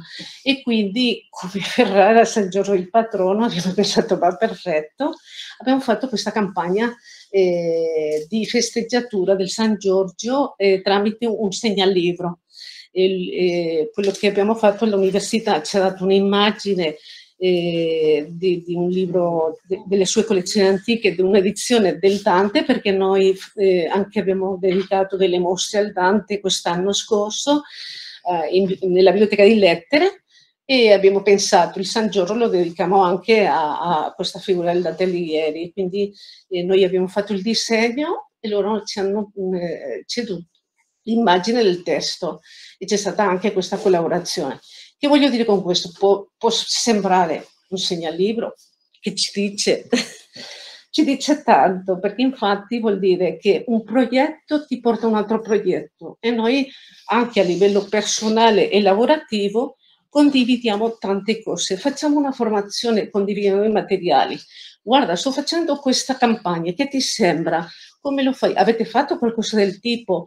Ci condividiamo tante cose e questo eh, penso che ti dà tanta ricchezza, tanto nella parte umana come nella parte professionale, e che si deve tenere in conto come un'altra opportunità che abbiamo di aprirci un po' fuori dalla nostra istituzione e, e condividere le esperienze.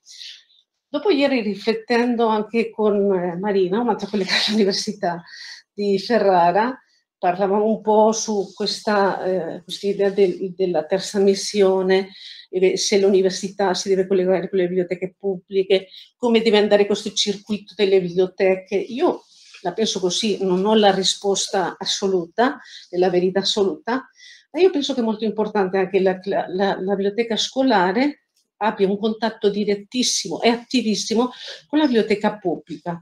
Perché?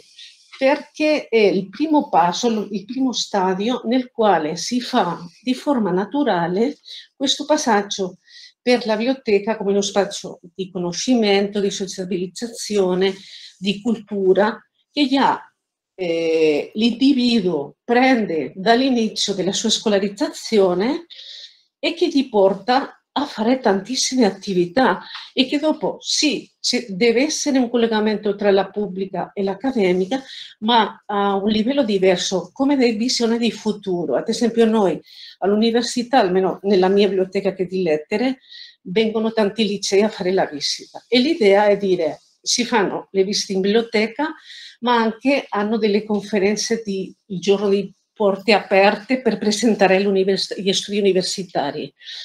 A volte in queste sessioni anche si incorporano delle sessioni sull'etica dell'informazione. E, e, e, qua anche eh, tutto il tema dell'alfabetizzazione informazionale tra la scuola e la biblioteca civica e tra l'università e la, la, la biblioteca eh, eh, civica anche, penso che è in rapporto perché l'importante è che vengano già, arrivino all'università con con un, cammino fatto a livello di, di alfabetizzazione informazionale e di etica dell'informazione che gli serve per incominciare i suoi studi all'università di una forma assolutamente eh, molto più professionale, più tranquilla, di, di rispetto anche eh, verso la sua produzione. No? E noi all'università facciamo queste visite, vengono tantissimi licei e si tenta includere qualche conferenza che parli su questa, eh, sul fatto se fai una bibliografia la devi citare, il fatto di trovare informazione di forma facile in internet non vuol dire che non ci sia un autore dietro, che capiscano che c'è eh, il copyright e le, le, le, le licenze Creative Commons che vogliono dire come possono trovare informazione che è libera, ma si deve seguire tutto un processo eh, di, di, citazione che eh, ti libera di, eh, del plagio, per dire alguna cosa, no? che non è tanto una punizione, ma una, una consapevolezza de, del rispetto che dobbiamo avere verso la, la informazione.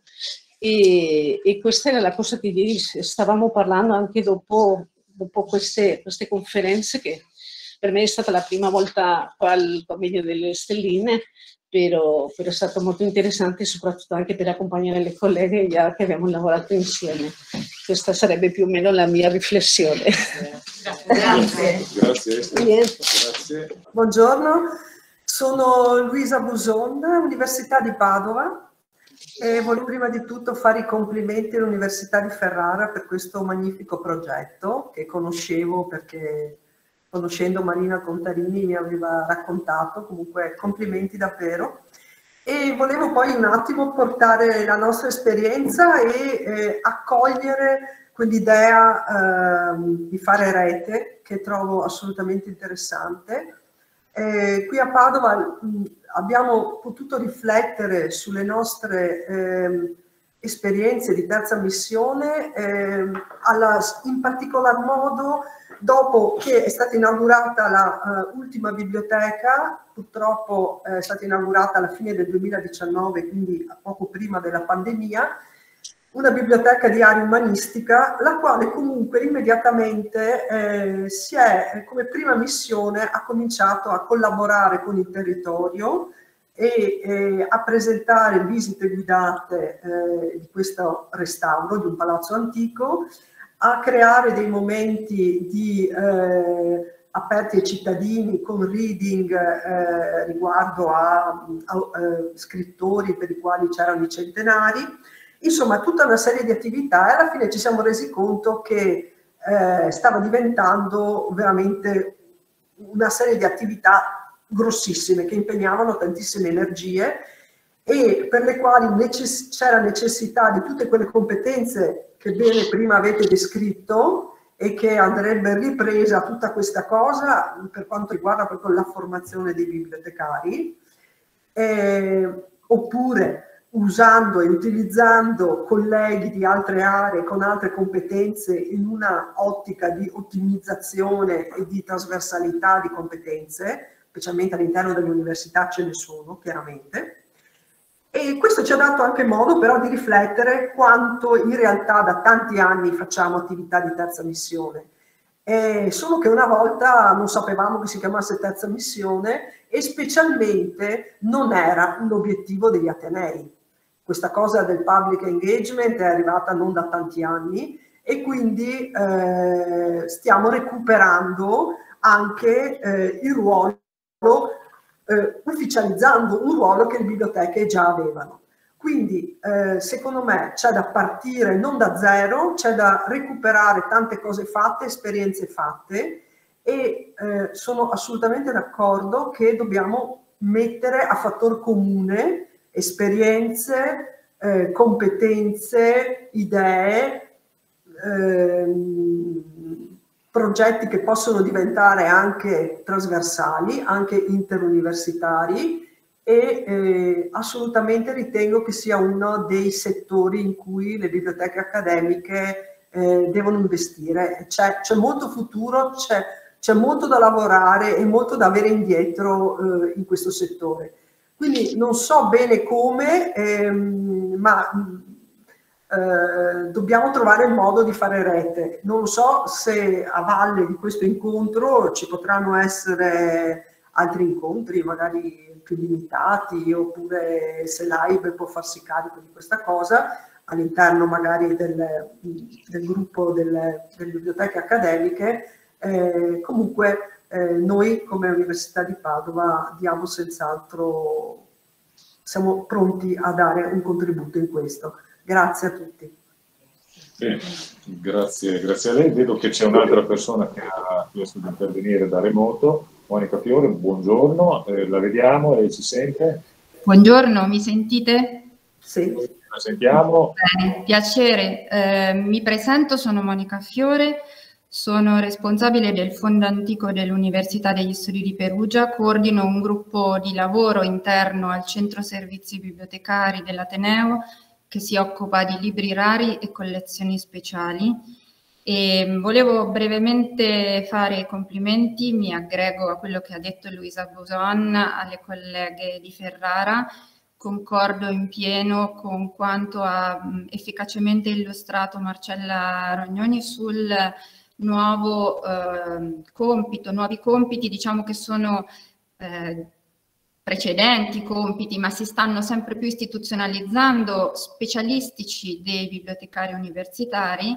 Volevo eh, raccontare velocemente l'esperienza qui dell'Università di Perugia negli ultimi anni ehm, ci stiamo eh, man mano formalizzando come gruppo di lavoro nel contribuire nell'Ateneo a mh, mm, manifestazioni che toccano la terza missione che sono iniziate con un coinvolgimento con le realtà cittadine grazie a una manifestazione che si chiama Luoghi Invisibili che si svolge a Perugia a cavallo tra settembre e ottobre. Eh, vengono aperti luoghi storici o comunque eh, normalmente inaccessibile alla cittadinanza, dal 2016 viene aperto per una o due visite in queste settimane anche la sede storica dell'Ateneo, che è Palazzo Morena, ehm, che è interamente occupato da uffici dell'amministrazione che ha un piano nobile dove si trova una biblioteca di cui io sono responsabile storica e, ehm, quindi eh, in questi ultimi anni, a partire dal 2016, abbiamo condotto noi queste visite guidate che chiaramente interessano anche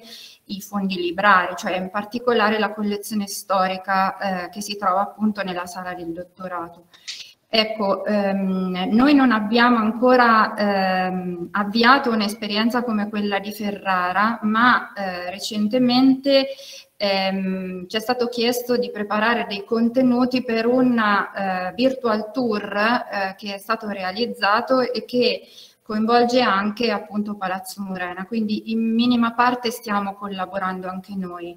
Eh, diciamo che qui eh, non è ancora ben chiaro per rispondere a una delle domande di Marcella Rognoni, non è ancora ben chiaro e ben percepito il ruolo che possono svolgere le biblioteche, in particolare quelle storiche, eh, in virtù anche della valutazione della qualità della ricerca che interessa anche la terza missione a partire dal 2018, eh, delle eh, collezioni appunto storiche delle biblioteche e, e eh, ancora un po' meno chiaro è eh, ma perché siamo noi bibliotecari che ci attiviamo poco nei confronti, come dicevano molti che mi hanno preceduto, nei confronti della cittadinanza, del ruolo che possiamo svolgere per la citizen science e per eh, la terza missione. Quindi mm, provo a dare eh, una risposta, eh, cioè molto sta sulle nostre spalle, sulla reputazione che riusciamo, come dire, a conquistarci, che ci dobbiamo conquistare all'interno delle nostre istituzioni. E secondo me è importantissimo fare rete anche tra biblioteche accademiche perché attraverso il confronto delle buone pratiche riusciamo a sensibilizzare meglio il principe, come è stato chiamato, eh, che si rende pienamente conto, lo dimostra nei fatti, che eh, siamo un perno diciamo, de, del, dell'università, ehm, de, della comunicazione, del ruolo che ha l'università nei confronti de, della cittadinanza. Quindi anch'io mi rendo perfettamente disponibile a continuare questo discorso. Volevo solo fare un'osservazione che forse è legata alla mia scarsa conoscenza. Nella CRUI c'è una commissione biblioteche. Eh, si potrebbe anche, eh, come dire, collaborare lì eh, tra ehm, rete, tra le biblioteche accademiche, ma anche tramite la commissione. Grazie. Bene, grazie, grazie a lei. Vedo che c'è un'altra persona in, in, attesa, Serena Spinelli, può intervenire, ci sente? Può aprire il, la telecamera e il microfono? Eccomi, ci sono, mi sentite? Eh, sì, ma eccoci. Ok. Eh, allora, ehm, innanzitutto mi presento, lavoro all'Università di Bologna, ma sono anche coordinatrice della commissione eh, delle biblioteche dell'Università e della Ricerca e in questo ruolo ovviamente voglio ringraziare tutti quelli che hanno organizzato e partecipato a questo evento, prima fra tutti Marcella Rognoni che ci ha rappresentato con, con la sua bella relazione. E, ehm, eh, avrei, avevo pensato di dire qualcosa su quello che facciamo come Università di Bologna, ma eh, perché penso che facciamo anche delle cose interessanti, un po' diverse forse da altri Atenei rispetto alla terza missione, soprattutto nel campo della collaborazione con le biblioteche del territorio, però eh, in questo momento mi sembra che siamo stati chiamati a riflettere anche su altri piani, tra virgolette, più politici, più strategici qui come commissione. Quindi mi soffermo un attimo su, su alcuni di questi temi. Eh, innanzitutto ho trovato assolutamente cruciali le domande che, che, che si è fatta Marcella rispetto non solo al, al, nuovo ruolo per i bibliotecari accademici, alle relazioni con le biblioteche pubbliche, ma soprattutto agli strumenti per valutare l'impatto delle iniziative di terza missione della, delle biblioteche, a come consolidare il ruolo delle biblioteche universitarie nella terza missione, cioè se gli Atenei ruolo, e eh, se gli Atenei comprendono il legame stretto tra Open Science e terza missione. Purtroppo, secondo me, è, è difficile dare una risposta positiva eh, a queste, soprattutto queste ultime domande ed è probabilmente quello su cui dobbiamo lavorare di più, su cui dobbiamo fare rete, su cui anche la nostra commissione deve rispondere a queste sollecitazioni e eh, diciamo eh, continuare queste attività per dare vita eh, o stimolare comunque questo possibile portale sulla terza missione e questa possibile auspicabile rete delle, delle biblioteche universitarie. Quali sono secondo me i punti cruciali della, della questione?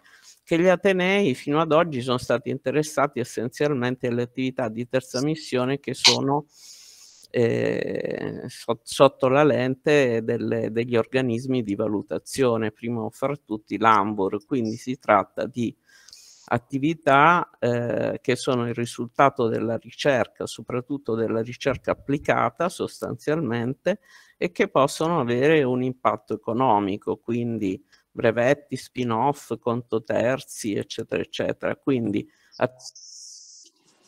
attività misure danno agli Atenei dei riscontri in termini di valutazione eh, e, che, e, che, quindi in qualche modo servono agli Atenei e che, la, e che gli Atenei hanno è, è molto molto molto incentivato e sviluppato in questi ultimi anni.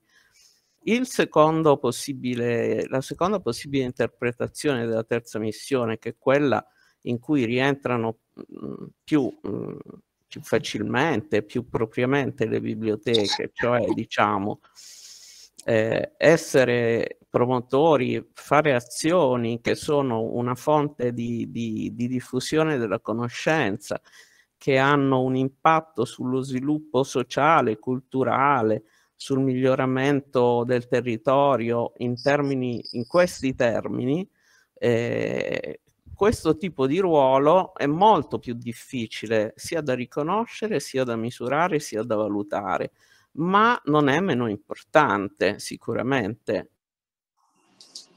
ed è quello che possono avere un ruolo fondamentale. Finora si è privilegiato quindi questo primo ramo della, della terza missione che ha visto le biblioteche in secondo piano e su cui gli Atenei spingono molto, ma eh, noi come biblioteche dobbiamo ovviamente cercare di valorizzare quello in cui siamo più protagonisti. E io penso che le biblioteche mh, sono un po' come la ricerca di base. E se oggi tutti puntano sulla ricerca applicata, eh, domani non ci saranno, come dire, come se tagliassero le radici delle piante.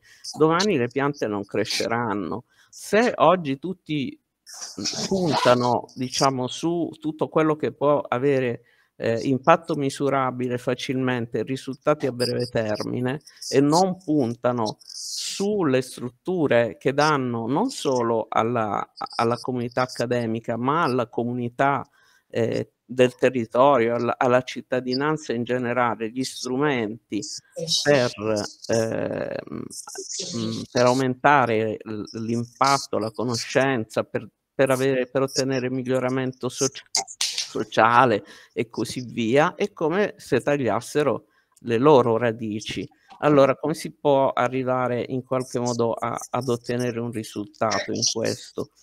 Sicuramente eh, bisogna lavorare appunto su, sull'impatto, sulla riconoscibilità, sul, sul dare evidenza all'attività delle biblioteche universitarie per il territorio e darla anche in collaborazione con le biblioteche del territorio e sicuramente il, la proposta di Marcella su un, un, portale per la terza missione potrebbe essere un buon passo avanti in, in questo percorso. E per finire, sicuramente la, la, nostra commissione può dare un contributo, dare una mano per, per costruire questo percorso. Bene, grazie Serena, hai finito? Sì, sì, ho finito, grazie. Benissimo, grazie a te. Non vedo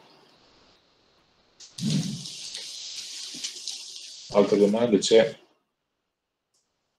non vedo altre domande da, da remoto. Anna, correggimi se sbaglio. No, io non vedo nulla. Se qualcuno ha osservazioni, interventi, cose da fare, visto che siamo ormai alle 13.02, non so quanto tempo abbiamo ancora a disposizione per continuare. Credo che stiamo, siamo agli sgoccioli, però... Sì, volevo solo dire una cosa. Prego.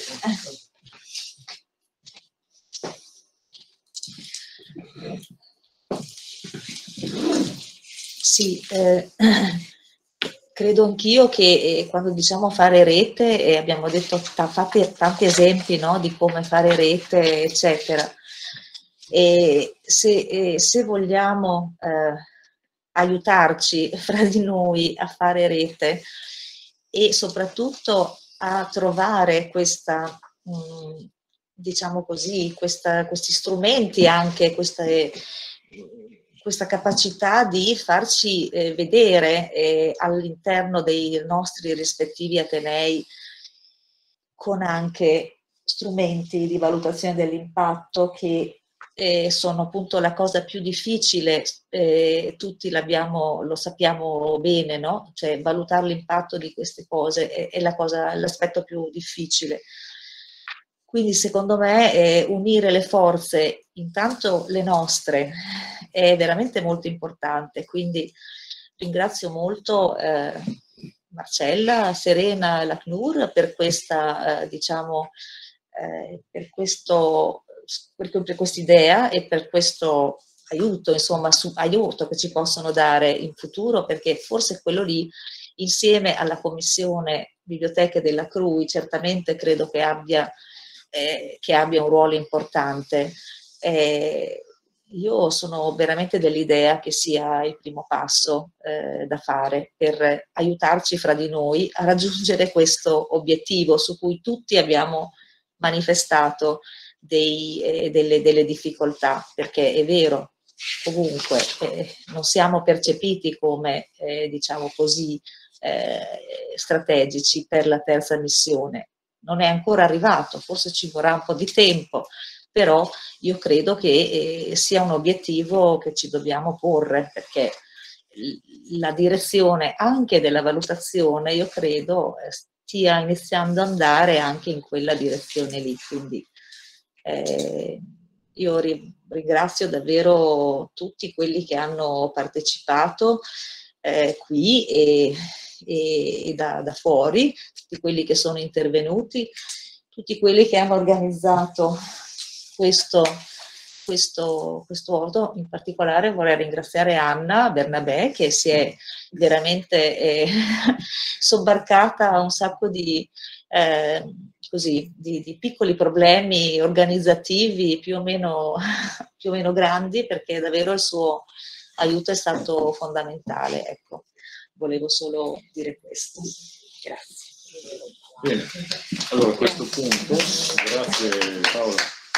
Se non ci sono altri, chiudiamo l'incontro. Trarre delle conclusioni non è possibile, cioè sarebbe interessante, ma non è possibile anche perché ci sono molti elementi che sono emersi, ma due cose voglio dirle.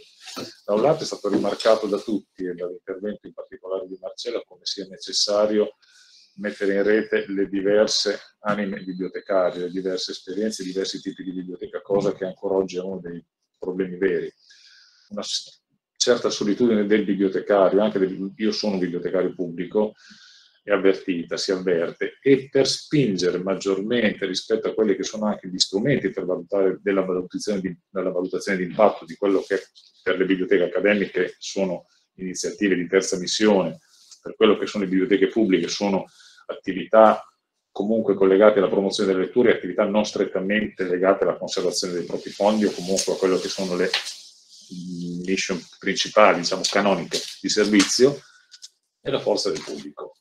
come andare a trovare il consenso e misurare in maniera non semplicemente numerica, ma attraverso quelli che si dicono con una parola, indagini qualitative, rapporti stretti, è complesso e difficile, questo credo che sia. Una cosa che mi ha colpito molto, che ha detto la collega di Barcellona, Esther, spero di aver ricordato il nome, Perfetto. è di partire anche dalle biblioteche scolastiche. Qui tocco un tema che per noi italiani è una dolente nota, ahimè.